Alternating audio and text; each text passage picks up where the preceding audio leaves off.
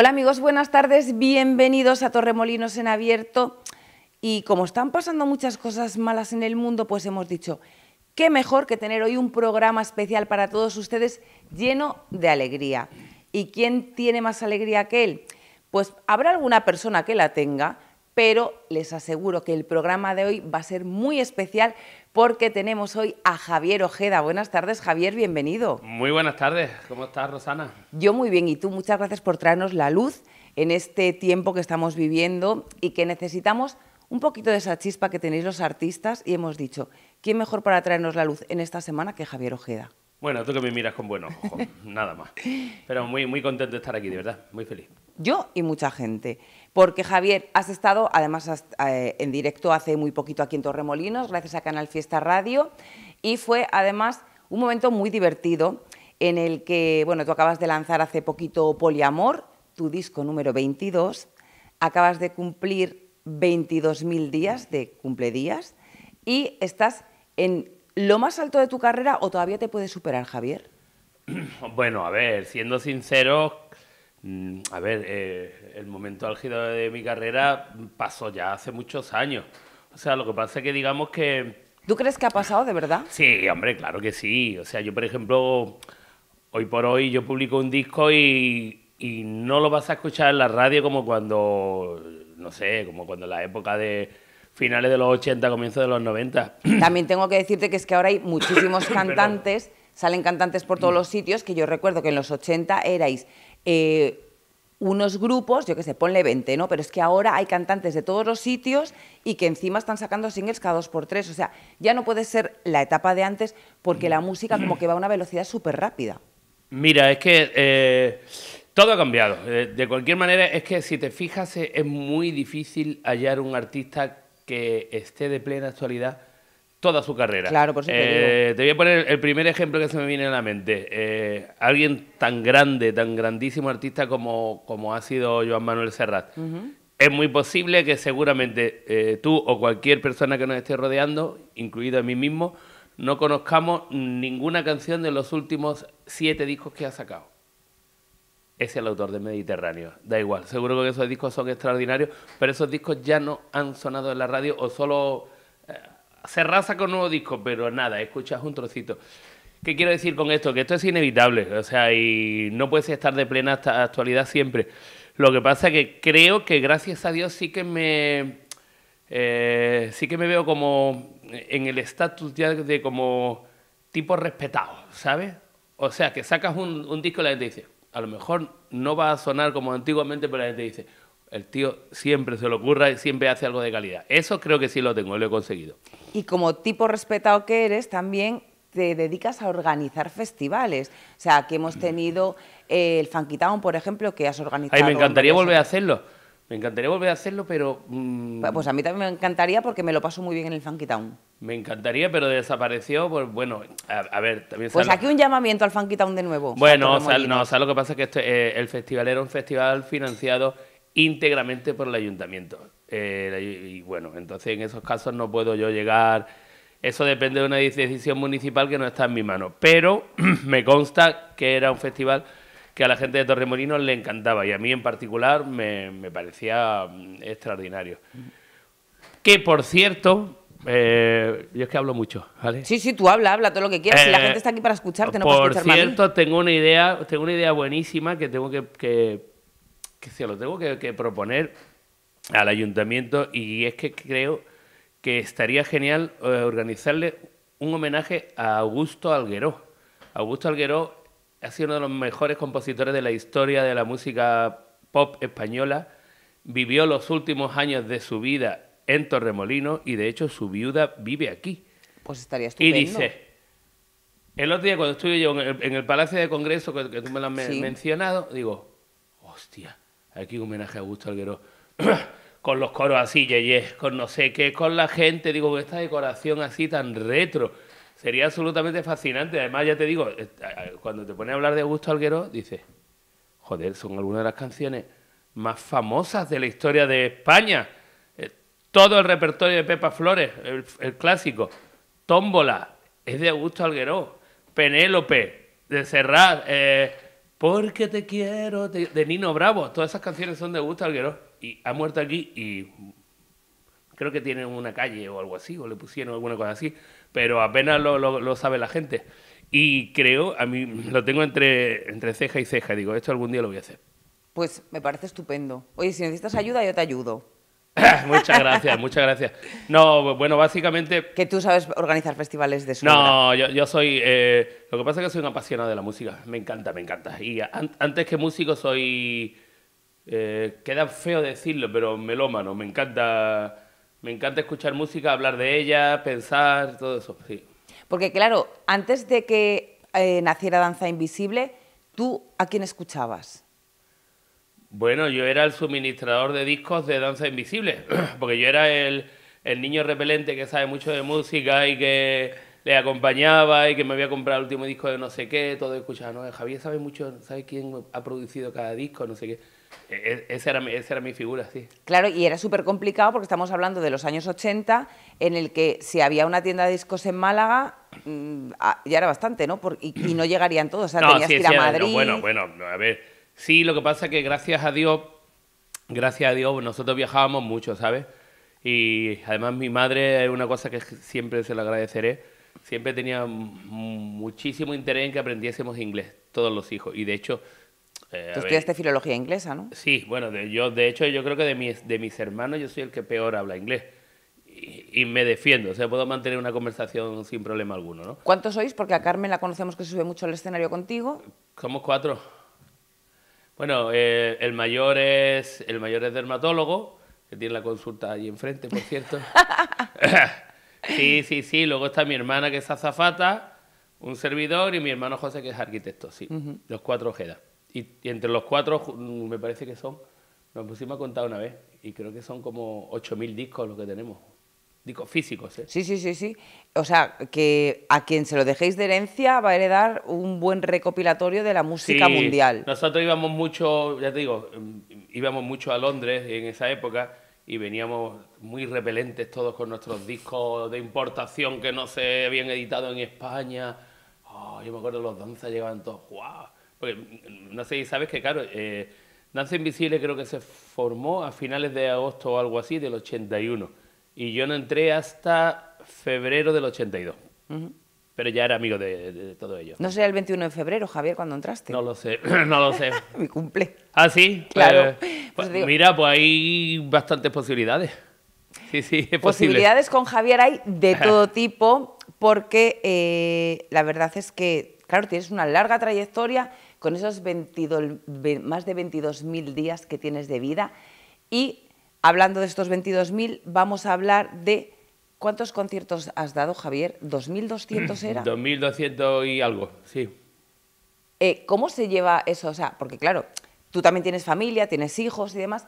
¿Cómo han llevado el que tú desaparecieras de casa haciendo giras durante largas temporadas? Porque eso sí lo han Hombre, tenido eso que se lo vivir. tendría que preguntar a la gema.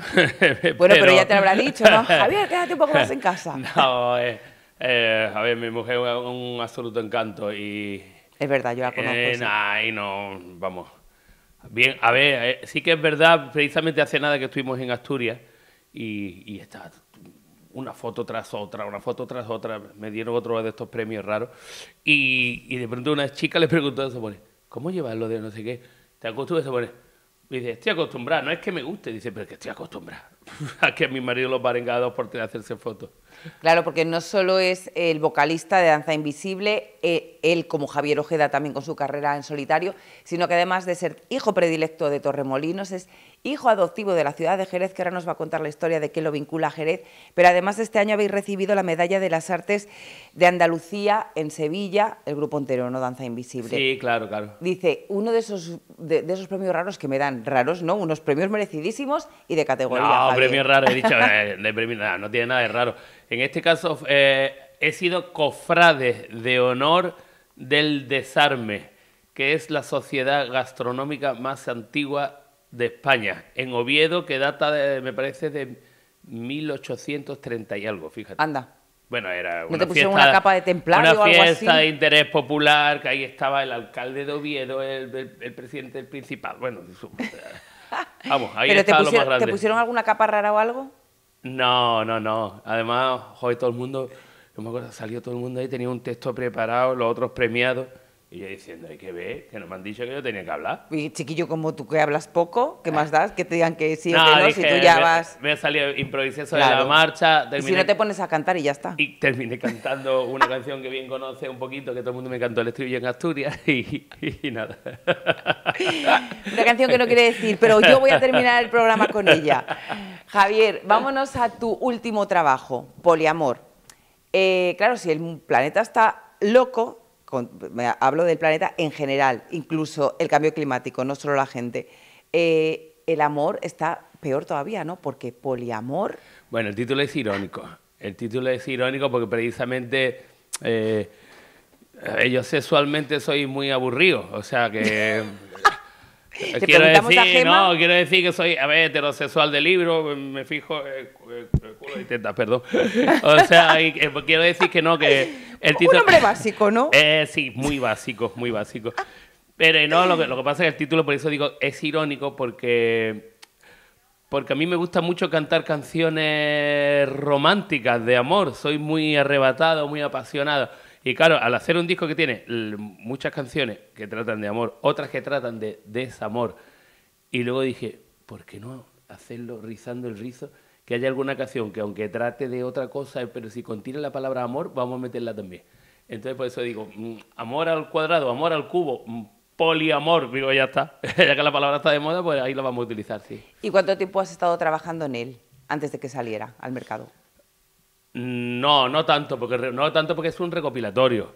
A ver, eh, sí que llegué y dije, bueno, para que el recopilatorio tenga al- algo un poquito especial, o sea, introduje una canción, una canción nueva, buenísima. y, y luego aparte hice también un rescate de un clásico de danza invisible que lo, lo- lo había grabado en directo, esta de por ahí se escapa, por ahí se pierde, esa, esa está grabada Por en ese directo. camino del que nunca vuelve. Eso. Y luego una versión instrumental de un tema de mi carrera en solitario que se llama Apasionado, del que antes, me, antes de que empezase este glorioso programa me, ha- me, me has mentado, porque es la, la canción esa que grabé el videoclip es precisamente en la piscina municipal de aquí de Torremolino. Apasionado se llama. donde sale nuestra compañera Carolina López, es una de las mujeres que está metidas en el agua. Eh, con Poliamor vamos a empezar a ver alguno de tus videoclips de este especial. No sé decirte adiós, ¿te parece, Javier? Sí, además es una canción de, la, de mi carrera reciente que de las que estoy más, más orgulloso.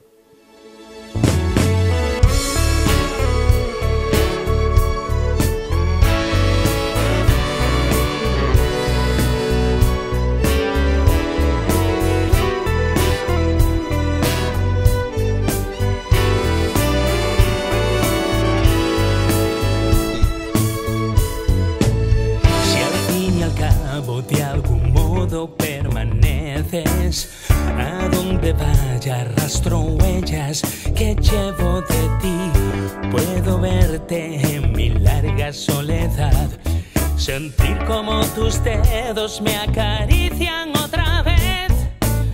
No diré adiós, pero estos muros saben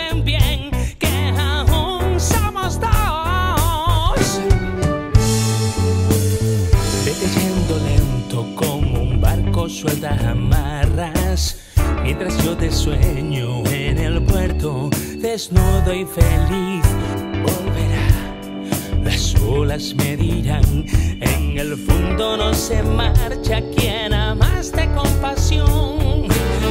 Y entre tú y yo no existe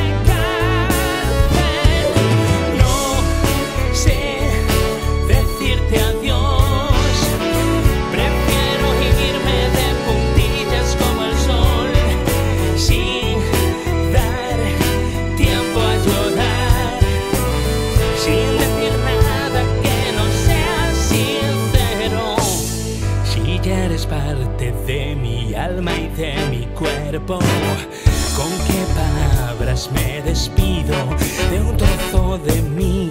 Sobrará ese beso en el andén. La frase más brillante es la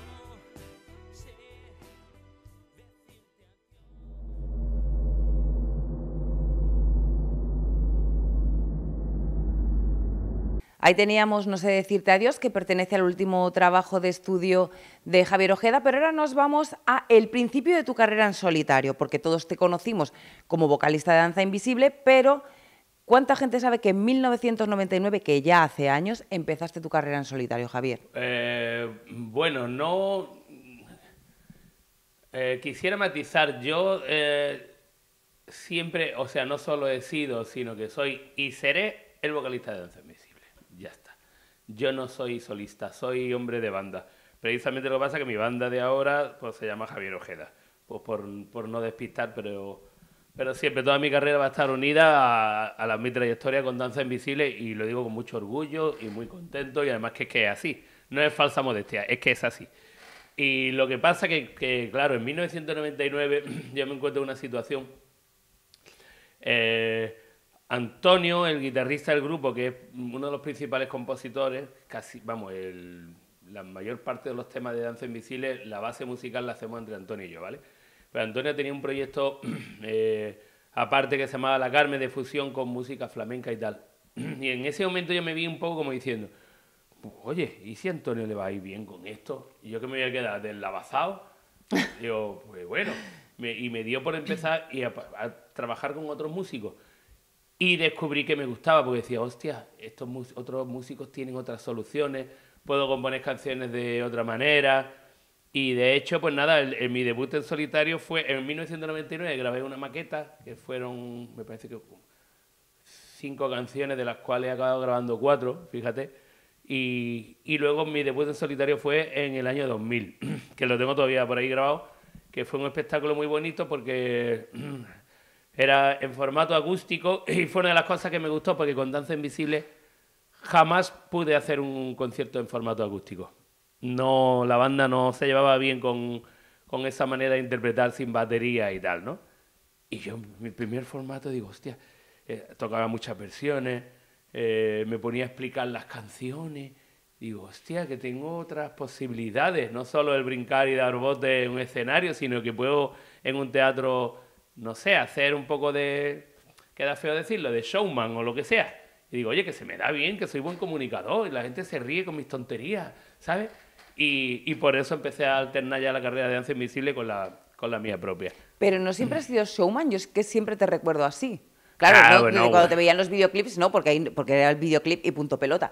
Pero yo, desde que te he visto en persona o en programas y demás, yo siempre te he visto esa faceta. Bueno, a ver, cuando he tocado con Danza Invisible, lo que pasa es que es más, es todo más puro rock and roll, o sea, más movimientos, más saltos, más no sé qué. Me vengo a referirme un poco más... Sigues en- saltando mucho, eh, con más de 22.000 días que tienes. Sí, sí, sí, es mi, bueno, y en mi vida normal.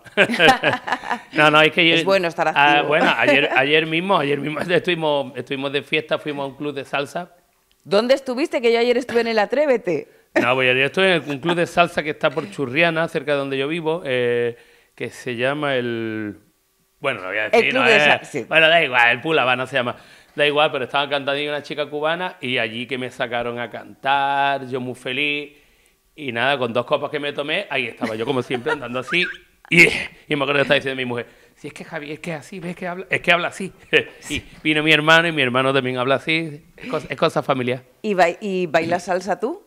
No, fatal, fatal. o sea, ritmos latinos no, ¿no? No, me encanta, me encanta cantarlo, me encanta cantarlo y, y además tengo, tengo cierta gracia para hacer un poco como, como los latinos, inventarme la letra cantando sobre la marcha. Esas cosas me salen. Bien.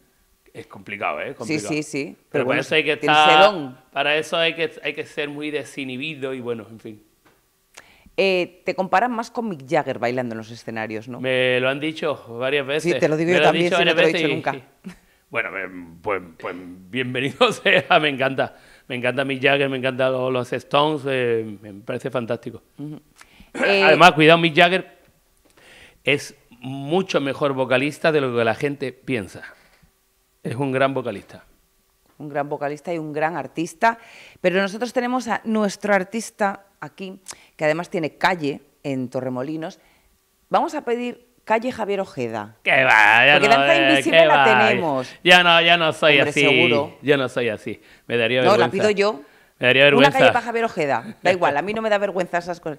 No pediría la de Rosana Panero, que también si la quieren poner, pues oye, vale, que top. Pero para pedir para los demás yo sí valgo. Para pedir para mí no. Te lo agradezco igual, hija. Javier, eh, en 1999 te lanzaste a ese nuevo formato y tu primer disco fue Polo Sur, que tardaste siete años en sacar. Seis, siete años después. Sí, bueno, a ver, eh, te matizo un poquito. Y es, que el, en el año. En el año 2000 publicamos un disco bajo el nombre de Danza Invisible, ¿vale? Que este fue el disco, este lo teníamos hecho antes de que yo empezase a hacer la, la maqueta de esos seis temas que te estaba contando. Y en el 2003 yo tenía planeado sacar el primer disco mío en solitario, ¿vale? Pero entonces llegó eh, la compañía discográfica, no sé si con buen criterio, pero realmente me da igual, ¿no? En esa época, en ese momento, eh, llegaron y nos dijeron, mira, Danza Invisible os lleváis fenomenal. Eh, el último disco de Danza Invisible no ha funcionado como debiera. Dice, Javier, tú tienes unos temas nuevos que están súper chulos. Antonio acaba de presentarme por su lado dos o tres temas para la editorial que también está chulo. Dice, ¿Por qué no venir fuerza vamos a sacar un disco bajo el nombre de Danza Invisible? Que vamos a volver a poner el, nombre del grupo en lo más alto. Y entonces, buena parte de ese disco en solitario se grabó bajo el nombre de Danza Invisible que se llama Pura Danza. Y ahí estaban, pues, muchas canciones que siguen, siguen siendo muy habituales de los que toco yo en solitario, ¿no? Como, por ejemplo, una, una que toqué el otro día en Torremolinos que se llama Frío en mi corazón. Esa, esa era venía de una maqueta que había hecho yo con otros músicos, vamos.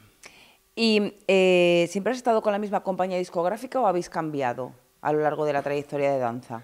Hemos cambiado poco. El, Que por cierto, ¿por qué se llama Danza Invisible? Que nunca lo he sabido.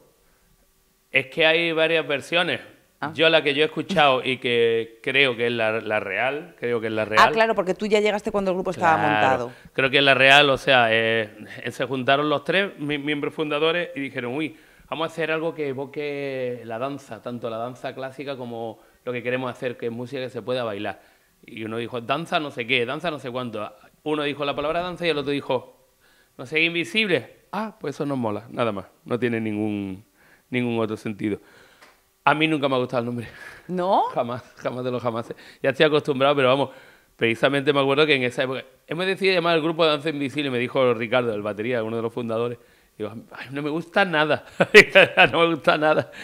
Pero bueno, también la- los grupos de aquella época, modestia aparte, no me pises que llevo chanclas, Muchos nombres era- compuestos, sí, sí, sí. A mí me parece un nombre ligeramente pretencioso y, y no me gusta. Pero bueno, ya da igual, ya, ya es una marca de fábrica, ya da exactamente igual. Al final acá hay gente acaba diciendo los danza o lo que sea, sí. Volviendo a la pregunta inicial, ¿habéis cambiado de discográfica a lo largo de los años? Sí, perdona. Eh, en el, pri- el primer disco fue con una independiente muy, muy pequeñita que se llamaba MR. Después pasamos a otra independiente ya más poderosa que se llamaba Twins, que precisamente hizo fortuna sacando, fíjate, relanzando a los secretos. Eh, lanzando a Celtas Cortos, relanzando a Danza Invisible y lanzando a Hombre G. Tú fíjate, ¿no? Si tuvieron un buen ojo en esa compañía. sí. Discos Twins. Y luego Discos Twins fue absorbida por un emporio de tres discográficas que se llamaba Draw, Gaza y luego Twins. Y ese emporio, digamos, de las tres independientes fue, fue absorbida por Warner. Y a partir de entonces ya hemos trabajado, que esto te estoy hablando ya del 2000, el 2009, le pedimos la Carta de Libertad y desde entonces trabajo pues, desde la más absoluta independencia. Eh, hay que ver eh, todos esos grupos que acabas de nombrar con los que compartías en aquel momento escena musical. ¿Cómo os llevabais entre vosotros? O sea, ¿había mucho afán de protagonismo por parte de otros o os llevabais bien? No Eh, si bueno, precisamente con, los, precisamente con los que te, te acabo de nombrar, con todos ellos siempre estupendamente bien. Fíjate, ¿eh? o sea, Celtas Cortos son majísimos, Hombre G eh, en persona, mm, extraordinario, por cierto, además, te voy a dar un dato que poca gente conoce, y es que el road manager de Hombre G era un señor muy alto, muy alto, que luego hizo fama como locutor bajo el nombre de Juan y Medio. Ah, sí. Eh, Así te lo estoy diciendo. Yo siempre pensé que había sido Desde su entonces, desde David entonces- Sume, desde- esto, ¿cómo se llamaba el otro? Su tío, su padre. No, no, el par no tiene nada que ver con el grupo. Y, y con los secretos me llevo estupendamente también. Luego, en, aquella época, obviamente sí que había muchas tiranteces también entre grupos, ¿eh? O sea que... Claro, el- supongo que por el caché, y por éramos las muy, plazas. era- y todos éramos muy niñatos, decíamos, esta música que es espantosa, por Dios, qué horror. O sea, mm, siempre comento una, una anécdota y es que eh, nos juntamos, una vez me parece que nos fue, nos fue- creo que nos dieron también un premio de algo, tanto a Jaime Urrutia de Gabinete Caligari como a mí. Él se acaba de separar del grupo y teníamos que viajar a Valencia y, y coincidimos los dos en, en el avión, uno al lado del otro. Empezamos a hablar y digo, y digo, hay que ver que yo pensaba toda la vida que tú eras un gilipollas. Y el otro me dijo, y yo igual de ti, digo, está claro que los dos somos gilipollas. Pues entonces sácame de una duda, ¿cómo es Loquillo? Aquí es una persona difícil. Eh, no, es que no... Yo, yo, No has tenido mucho trato con lo que él. yo lo que es un artista y le gusta ejercer de artista. Eh, Es que por eso a mí me daba esa yo sensación, ya soy, está. yo soy persona y me gusta... Creo... ¿Puedo decir algo? Creo que vivo mucho más feliz. La verdad que sí. Hay que saber de dónde venimos, todos hemos eh, crecido y nacido en este planeta. Eh, tú has tenido la suerte de nacer Eh, en Málaga, que igualme- es. Igualmente lo que yo es responsable de, de muy buen- buenas canciones del Sí. pop español. Es así. Luego te voy a preguntar una duda que tengo sobre, mm, sobre una de sus canciones, a ver si me la sabes resolver tú. Pero como aquí estamos para hablar de Javier Ojeda, vamos a continuar con esa trayectoria que eh, arrancó en solitario con el primer disco Polo Sur y vamos a escuchar el vaivén de las olas. ¿Te parece, Javier? Sí, además es una canción de la que estoy mm, muy orgulloso. Creo que es una canción que envejece muy bien. Y después de unos cuantos años la estoy la he retomado en directo y, y la gente me dice, oye, ese tema en qué, en, qué disco está? Digo, joder, pues del 2006, fíjate.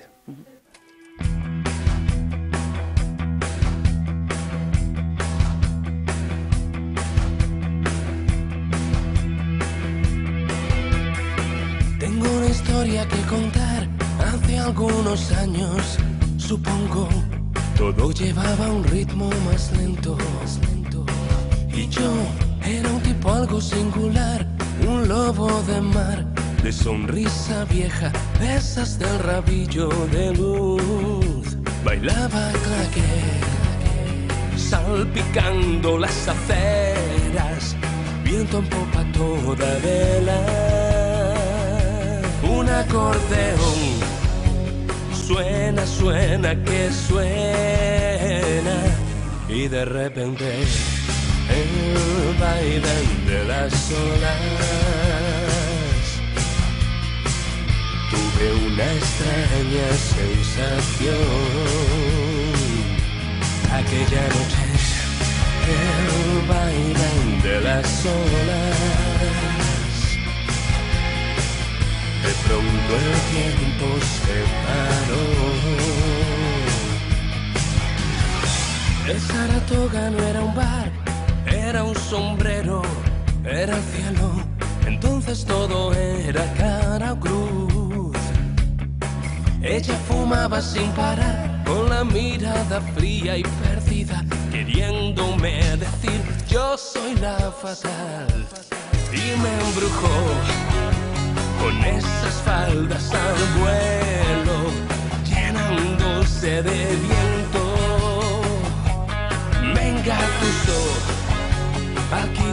el guante negro. Y de repente el baile de las olas. Tuve una extraña sensación. Aquella noche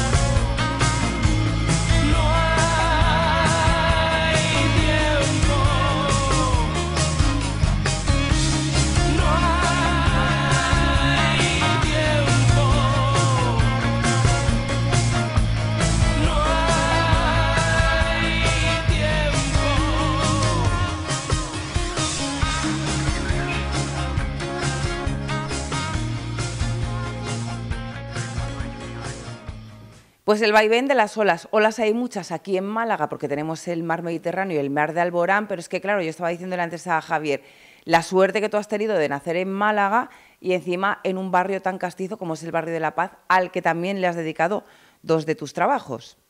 Sí, pero bueno, no es tanto por el no es tanto por el orgullo de barrio, sino sino porque la simbología que para mí tiene aquello de la mezcla entre un, un barrio y, y- y la palabra paz.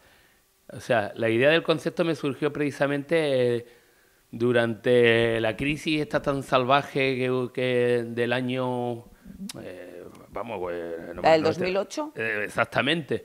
Era un momento que estábamos todos los músicos fatal, toda la gente Pero hablamos de, de la crisis que hubo de la sí, construcción la y crisis eso. económica, la crisis 2008. económica. Y claro, yo pensaba que digo, hostia, y fíjate, al, fin y al cabo es- estará la cosa económicamente mal, pero, pero mira, eh, está aquí la playa, eh, el sol brilla, eh, podemos acostumbrarnos a vivir con, con menos cosas. Y claro, yo, yo me, me acuerdo de que para mí, cuando me- yo, yo me mudé a este barrio, a la Barriada de la Paz, cuando yo tenía siete añitos, nosotros ve- veníamos, o sea, mis padres venían de- de una clase más bien media baja, y, pero empezaron a hacer un poquito su fortuna precisamente por un pequeño negocio, una zapatería que empezó siendo muy pequeñita, que está ahí enfrente. Y entonces, claro, eh, cuando nos mudamos... Bueno, ahora ya no está, ¿no? Ahora son no, bares. ya no. Mi, mi papi falleció hace ya unos años. Pues resulta que, claro, cuando nos mudamos de, de Ciudad Jardín, que teníamos un, un pisito ahí, a un piso, dos pisos corridos en la barriada de La Paz. Y a mí me parecía que aquello era el colmo del esplendor económico, ¿sabes? Y yo diciendo, wow, mi colegio, el Rosario Moreno. Y me acordaba, digo, o los cañaverales, que de, pasar por los cañaverales, donde está ahora Santa Paula, que es aquello de cañaveres. Digo, esto es una maravilla, yo, me, yo tenía una infancia muy feliz. Y por eso se nos ocurrió el concepto de, barrio de la paz. Luego, a partir de entonces, también me sirvió para, para también denunciar mm, mucho una de mis obsesiones que eh, el urbanismo desaforado de la Costa del Sol. que es si algo, te- es algo que a mí me, me preocupa mucho, no, muchísimo. Si te vas entonces ahora a tu barrio, pero a la zona de la playa, la Misericordia, entonces ahora qué escribirías? Bueno, a ver, a ver, las ciudades tienen que crecer, tienen que crecer y, y esto es así. Me refiero a las torres brutales que están allí montando. Ah, bueno, sí, bueno, eh, bueno, todavía, a ver, eso ya es una zona perdida, digamos que bueno, eso lo digo como por asumido. Lo que sí que me parece una auténtica barbaridad es la torre hotel que están empeñados en hacer en el puerto de Málaga. Creo que eso, creo que eso puede ser un error histórico de la ciudad, como han sido, hay, hay muchos errores históricos en, en la ciudad de Málaga capital, ¿vale? Uno de ellos, por ejemplo, o sea, e- es la construcción del Hotel Málaga Palacio. No tengo nada contra el edificio, ni obviamente ni contra sus dueños, ni nada, pero no ves la catedral, la tapa. O sea, ¿me entiendes? Igualmente los bloques de la Malagueta, algunos de ellos, vamos, arquitectónicamente fantásticos, pero igual tapan toda la visión del puerto. O el más grave que yo recuerdo recientemente, la Coracha, que podía haber sido una especie de mini albaicín en Málaga. Ay, la barbaridad que hicieron allí. Horrorosa. Y bueno, aquí en Torremolino no, ni, ni te cuento, chiquilla. Creo que los años 70 y 80 fueron terribles, terribles, terribles para, para este municipio. Pero lo que no fueron terribles fue para eh, Danza Invisible o Javier Ojeda, Ni mucho menos. que ahora sí nos vamos a escuchar, si te parece, eh, una de las canciones de Barrio La Paz, como Oiga Camarero. Sí. ¿Te parece que elijamos esa? Sí, me encanta. Además, el videoclip está grabado en, en los baños del Carmen, en Málaga. Un día de mucha, mucha lluvia, cuando se había proyectado el videoclip para que todo fuera sol radiante. Y finalmente, de la necesidad hicimos virtud. Salió un videoclip, oh, total. Pues ese videoclip que vamos a ver ahora mismo.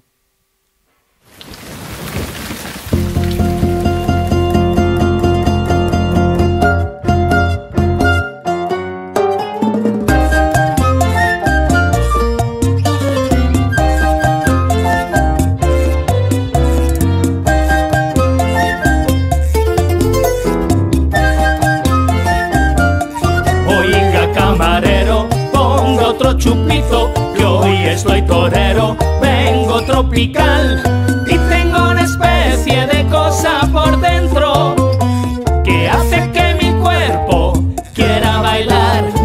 Hoy no leeré las noticias, hoy no me des consejos, hoy dame direcciones. Quiero perder la cabeza, que no acabe la fiesta,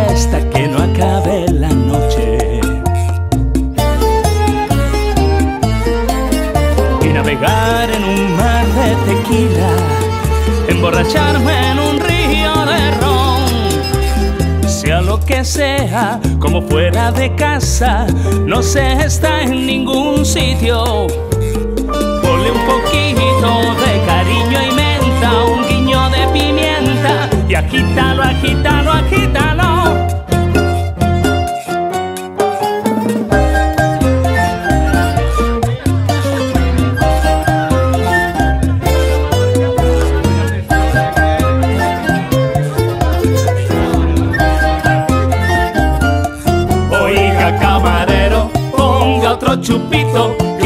Estoy torero, vengo tropical y tengo una especie de cosa por dentro que hace que mi cuerpo quiera bailar.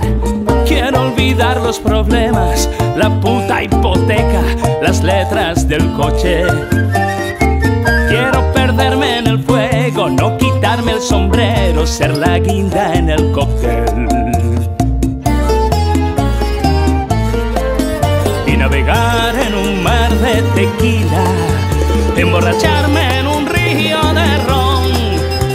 Sea lo que sea, que esto tiene guasa, hoy tiro la casa contigo. Ponle un poquito de cariño y menta, un guiño de pimienta y agítalo, agítalo, agítalo. Tropical.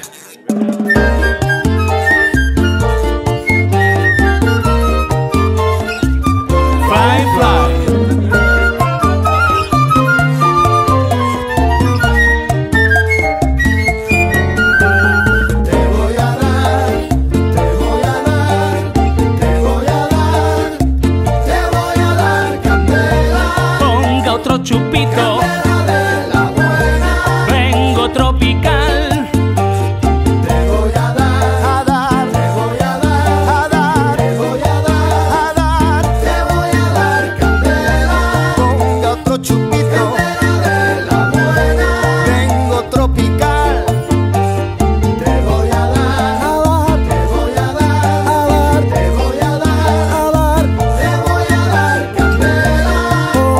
Pongo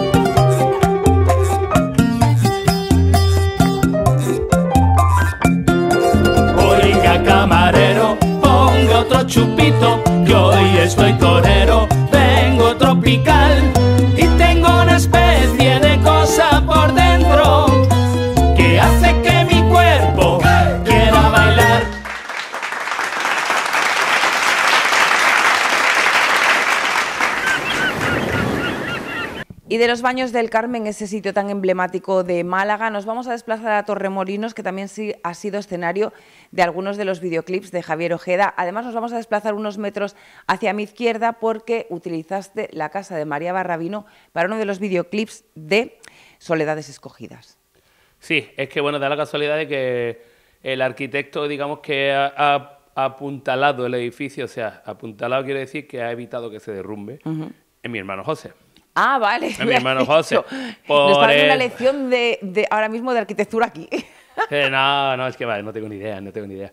Pero precisamente gracias a eso, ob- obviamente pedimos permiso al, al ayuntamiento y nos dieron el permiso, pero mm, eh, mi mismo hermano me dijo, no, no podemos subir arriba, no, es terminantemente. Peligroso. Utilizamos solo, solo la entrada, porque en ese momento daba, hostia, daba una imagen tan tétrica, pero misteriosa, pero alucinante. Y, y, y esta canción, mientras estás ausente, es un tema muy tétrico, ¿eh? O sea, habla de los muertos. Habla de los muertos.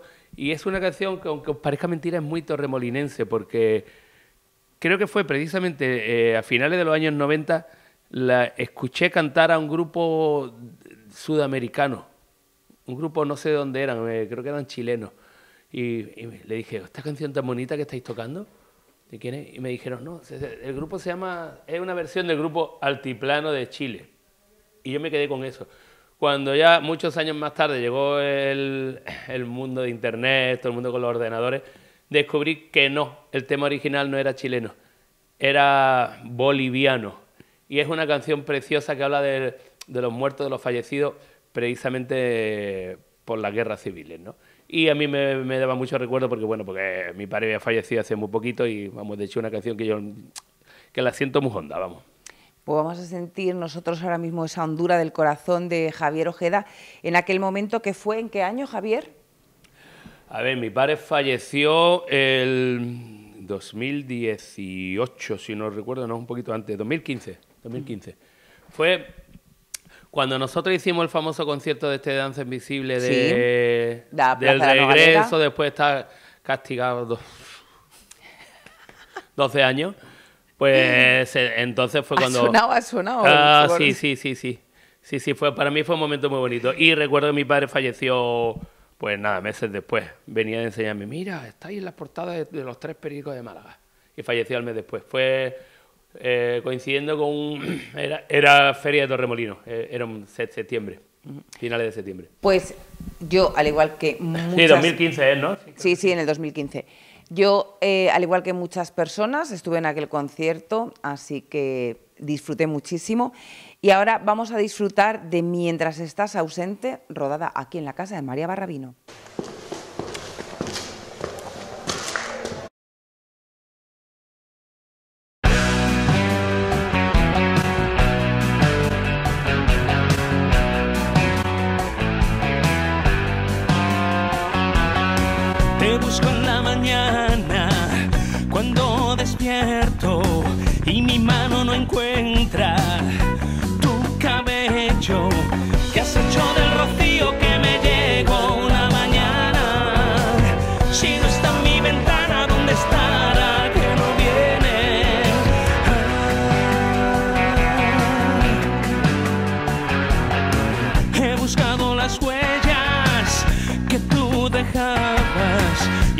Duele el espacio donde tú estabas.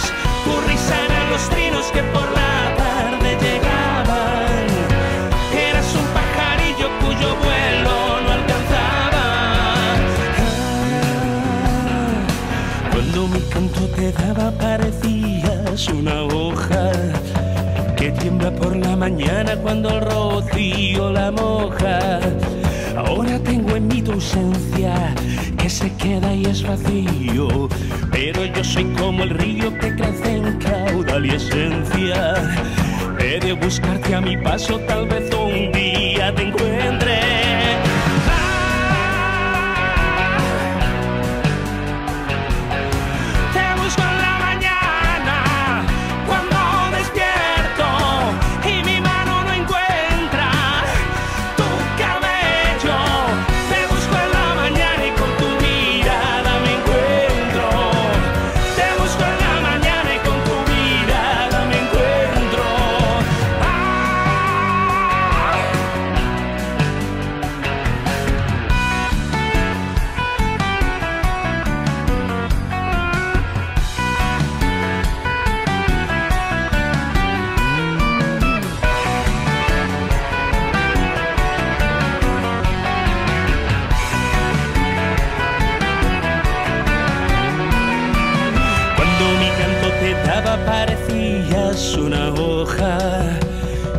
Por la mañana cuando el rocío la moja.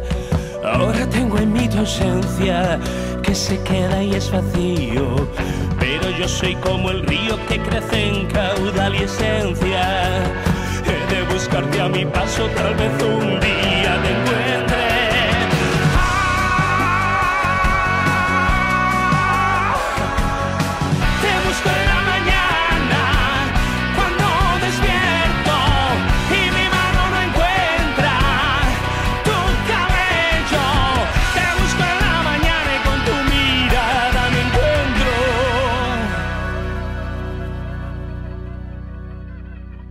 Pues muchas son las cosas que ha hecho Javier Ojeda aquí en Torremolinos. Estamos llegando al final de nuestro programa de hoy. Yo vuelvo a reivindicar desde aquí una calle que lleve su nombre. No, mujer, que no. y Javier, como danza invisible sí la tenemos y como nos dio tantas alegrías, yo creo que te lo conté ya en su día, eh, que mi primer beso me lo di con labios de fresa sabor de amor. ade- ade- yo, yo esto ya te lo he contado. te lo yo recuerdo que te lo conté cuando se inauguró la torre del Hotel Meliá. Bueno, eh, esta- eh, yo creo que gracias a esa canción para la na- natalidad española ha estado muy bien, en general. Pero cada vez que la escucho no puedo evitar acordarme de aquel chico de Ávila, que además era rubísimo, era casi albino, con la cara súper blanquita y los labios súper rojos. O sea, entonces, labios de fresa sí que los tenía. Y la verdad es que es un buen recuerdo eh, pensar en, en tu canción, pensar en mi primer beso, por supuesto. Y no me quiero despedir de ti hoy sin esa canción, aunque sé que evitas cantarla, pero que No. todo el mundo la pide. No, no. A ver, cuando, cuando puedo prescindir de ella, prescindo. No porque- puedes prescindir de ella, Javier. Oye, pues por no tocarla un día, vamos a ver. No, no, no. Vamos, en, los en- en directo la toco siempre. Además que la gente me la pide, la gente me la pide, me la, me la pide. Pasa que, a ver, el otro día fue una, un caso ya, son solo tres canciones en acústico, estás presentando un disco nuevo que se llama Poliamor. Digo, ay, digo, joder, macho, yo quiero enseñarle a la gente otra canción, que sigo haciendo música, ¿sabes? Solo por eso, pero no, no, no, y no le tengo manía, ¿eh? Yo, al, al revés, estoy muy, muy agradecido a Sabor de Amor porque, entre otras cosas, creo que gracias a esa canción eh, sigo ejerciendo de la profesión que más me gusta, que es la de, y Bueno, que tienes muchas muy buenas y que sabemos cantar todos, porque de las que cantaste el otro día en el Palacio de Congresos, te seguíamos, o sea, que sabemos tus canciones, no solo sabemos Sabor de Que- Amor, oye, sabemos qué- qué muchísimo bien repertorio. reaccionó, que reaccionó el público, ¿eh? Me, me sorprendió, ¿eh? Y qué bien reaccionaste tú bajando, que estuvo baila- cantando entre la gente, No, pero bailando. ¿sabes por qué? Po- ¿Sabes por qué? ¿Te cuento No. la verdad? Sí. Bueno, yo soy así, pero aparte, porque es que resulta que, digo, me pusieron el pinganillo y yo no sé cantar con pinganillo. Sí, te lo escuché decir. No, no sé cantar con pinganillo. Digo, ay, que no me escucho, que no me escucho. Digo, bueno, me voy a meter abajo y así, y ya está. Pues fue un placer volver a verte en directo, Javier. Ay, muchas gracias, hija. Y siempre es un placer encontrarte por la calle o en los eventos, porque Javier es una persona muy llana, muy cercana, y a mí la verdad que me encanta compartir ratitos con él, aunque sean Ay, pequeños. muchas gracias, muchas gracias. Tú también lo eres, hija. Gracias. Pues Javier, hasta aquí hemos llegado con este especial que queríamos dedicarte en un día como hoy y que te mereces este y muchos más, así que espero que sigas trabajando para venir a presentar más cositas aquí y hacerte otro especial, que no nos ha dado tiempo para hablar de danza invisible, hoy solo dedicado práctica y exclusivamente a Javier Ojeda. Hemos hecho una pinceladita de danza, pero Javier Ojeda al completo. Bueno, pues muchísimas gracias. Gracias a ti. Pues ahora sí nos vamos a despedir con esa canción, Javier. Y es que a quién no le gusta recordar su amor de juventud. Pues nos vamos a despedir con esa canción que tantas satisfacciones le ha dado tanto a Javier como a nosotros y a Danza Invisible, Sabor de Amor. Nos vemos mañana a las tres y media de la tarde. sabor de amor. Canta la gente ya. Todo me sabe a ti. Comerte sería un placer porque nada me gusta más que tú. Canta la gente conmigo. Boca de piñón. Bésame con frenesí. Besarte es como comer palomitas de maíz.